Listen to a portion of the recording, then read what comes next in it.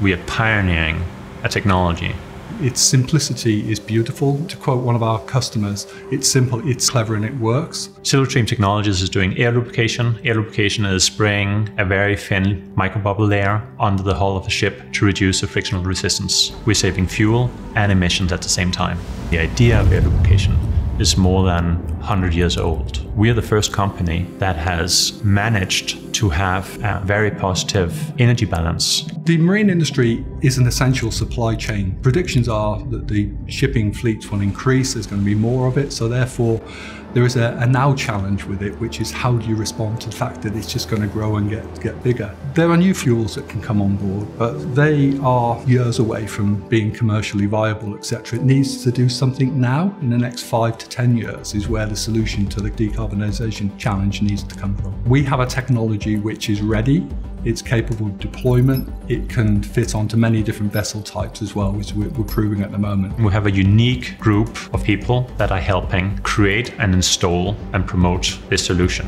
The team works extremely well together. We're creative, we work hard, but we have fun. One of the best things about working at Silverstream is that everyone's got a voice, and I really enjoy that. We're very agile as a company, so our ability to respond to dynamics in the industry across different vessel types, different owners, different different cultures even makes us respond very, very well to the challenges. What you're getting in this team, some very high quality engineers, all trying to achieve the same goal, swapping ideas. So we've got a fabulous sort of cycle of innovation going on. Our team and every single individual at Silverstream is so dedicated and so diligent in trying to get this product to market and as, on as many ships around the world as possible.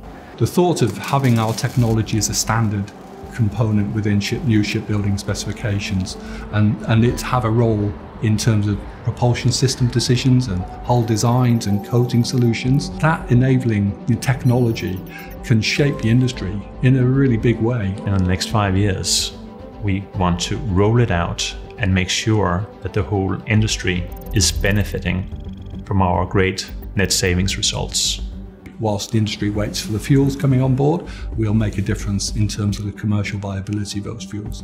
It's really a necessity for the industry to do whatever they can to use energy efficiency technologies to reduce their consumption.